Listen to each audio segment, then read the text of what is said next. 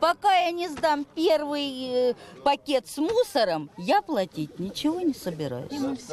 Мусор никто не вывозил, зато плату за якобы оказанную услугу с селян требуют. Но местные жители мусоровоза за полгода и в глаза не видели. Подтверждение теперь показывают пакеты с отходами, что за все это время скопились в огородах. Такими темпами они грозят перерасти в мусорный полигон. Мы собрали этот мусор, и мусоровоз до сих пор еще не приехал. Ничего мы никуда не смогли вынести, и он стоит во дворе.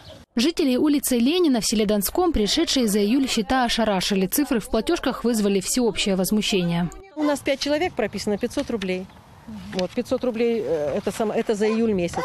Сейчас они нам еще за август принесут, это уже будет тысяча. Но дело в том, что дело не делается, а денежки надо платить. Мы ни одного пакета мусорного не вынесли никуда. Никто у нас ничего не забирал. Как я буду платить, если я не сама этот мусор уничтожаю, вывожу?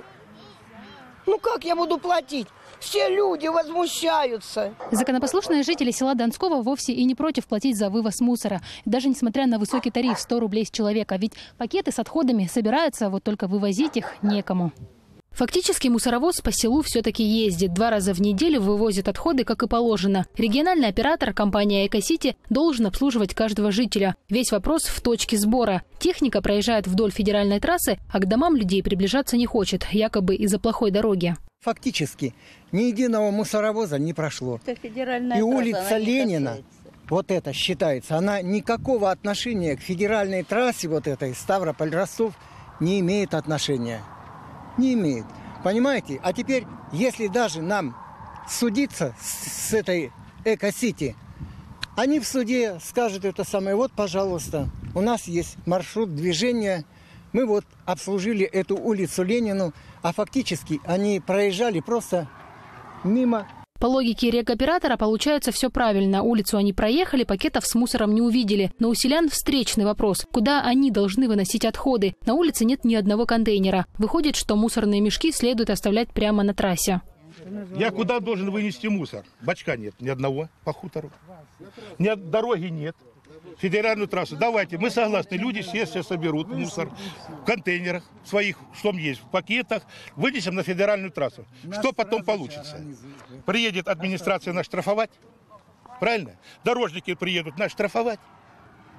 Но и везде будем виноваты мы, а не нет. Получился замкнутый круг. С другой стороны, селяне понимают, если мусоровоз и заедет к их домам, то зимой может просто застрять. У нас нет дороги. Ее нужно сделать. Нужно насыпать гравийку. Ну, короче, сделать дорогу нужно, по которой, чтобы проезжал мусоровоз.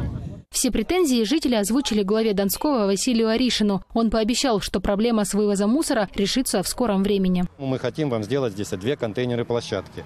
По правую сторону и по левую сторону.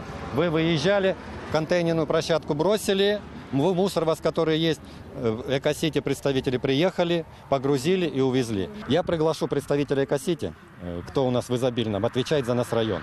И мы совместно примем решение по вашей улице. Кажется, что именно такого ответа люди и ждали от главы. Ведь жителям всего-то и нужно было, чтобы кто-то внятно разъяснил и уточнил детали реформы. И тогда недопонимания можно было избежать. Джамилия Ибрагимова, Сергей Трегубов, Ставропольское телевидение.